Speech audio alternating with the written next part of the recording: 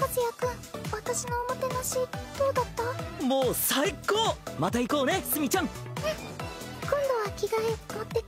ちょっと着替えが必要なおもてなしってスミちゃんに何させたの？水原？違うこれは誤解でねすみちゃん。あん制服のせい？制服？